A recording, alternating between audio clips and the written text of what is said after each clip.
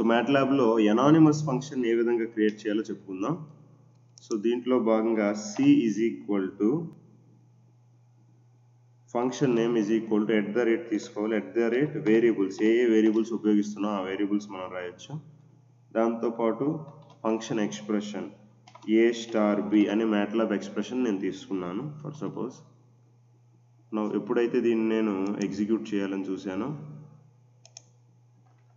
This will be executed నేను work స్పేస్ని clear చేస్తున్నాను సిఎల్సి సో ఎప్పుడైతే దీన్ని ఎగ్జిక్యూట్ చేశానో సి అనే ఫంక్షన్ ఇక్కడ క్రియేట్ అయింది వర్క్ స్పేస్లో ఇప్పుడు కమాండ్ విండోలో C of two comma three అని ఇస్తే టూ త్రీ మల్టిప్లికేషన్ వస్తుంది. C of four comma five అని వస్తే ఫోర్ ఫైవ్ మల్టిప్లికేషన్ వస్తుంది. C of seven comma eight అని వస్తే సెవెన్ ఎయిట్ మల్టిప్లికేషన్ వస్తుంది. ఓకే ఇది ఒక ఎనానిమస్ ఫంక్షన్ క్రియేట్ చేయడం. ఇప్పుడు ఇంకొక ఎనానిమస్ ఫంక్షన్ తీసుకుందాం. మేబీ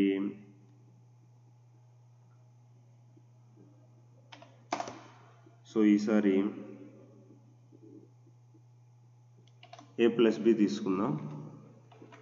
ఎనానిమస్ ఫంక్షన్ సో దీన్ని నేను ఎగ్జిక్యూట్ చేశాను. సి ఏ ప్లస్ బిగా చేంజ్ అయింది. సో నా C of one comma two అని ఇస్తే త్రీ అని వస్తుంది.